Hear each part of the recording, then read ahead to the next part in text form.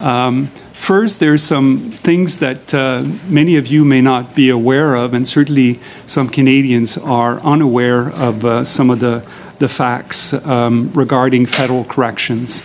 Uh, the first thing is that uh, generally around the world, correction is big business. The Correctional Service of Canada has a budget of close to $3 billion to manage about 12,500 um, incarcerated persons the ratio between uh, staff and prisoners in federal correction is probably the highest one in the world, with a ratio of 1.2 staff per prisoner. In terms of the cost uh, per incarcerated population, if you take the $3 billion and if you take away 6% of that budget to look after the community corrections component, you end up with an average cost, all inclusive, overheads included, um, of about $225,000 per year per individual. This guy's garage. Like and subscribe. Um, Dr. Zinger, we've, my last iteration on on public safety, we had conversations about corrections as well. And I noticed in your summary that you have some new issues you're facing. One of them being MAID, excuse me, medical assistance in dying, and that's one of the new challenges facing uh, facing corrections. Um, the rest of your report, however, doesn't make much mention of that practice. So, an access to information and privacy request revealed that as of August of 2020, a total of 11 individuals in Correctional Services Canada's custody had made requests for medical assistance in dying, uh, of which three were granted. Now, this fiscal year, how many incarcerated people sought medical assistance in dying? And how many incarcerated people received medical assistance in dying? Can you, can you tell us those numbers, sir? The answer is no. Uh, and I will tell you that I'm quite upset about it.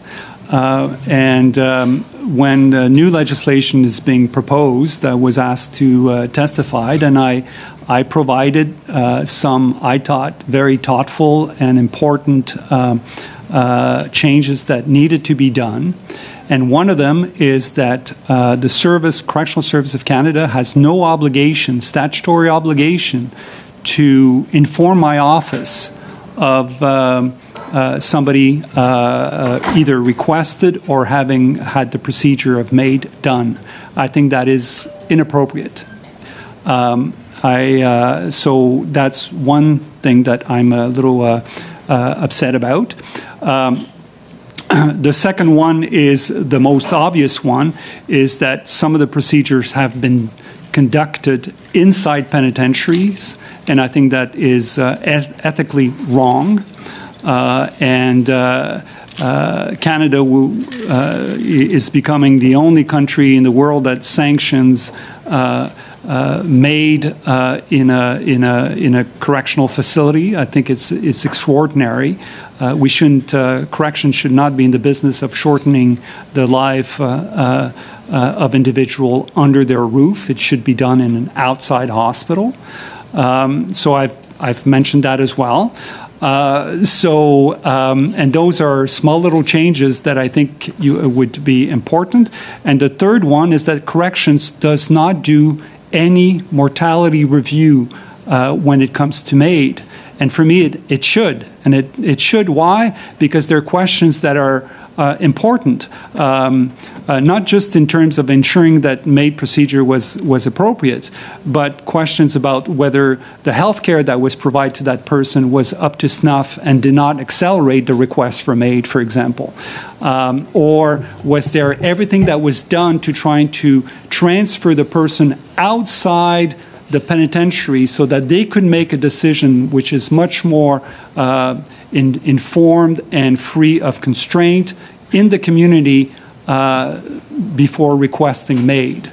So and, and this should Zinger, be subject to it, investigations. It, it, and I think beyond what you have indicated, and I certainly uh, understand the frustration you have with that, I'm wondering though, and, and, and I know you don't know the answer to this, and this is more of a statement, the concern of the slippery slope that MAID has become, where we know uh, across uh, this country leading up to the review last fall, that there are those who, who uh, you know, seek MAID and have received medical assistance in dying from mental health challenges, not imminent death, for which there is no cure.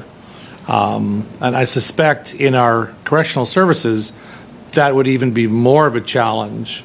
And uh, unfortunately, with with uh, you know some extension of this and a year-long extension to even start considering MAID uh, for those who are experiencing mental health challenges, you know we are the only country in the world who would even consider such a move, and, and it's troubling. And I think it's going to be troubling for you and correction services moving forward.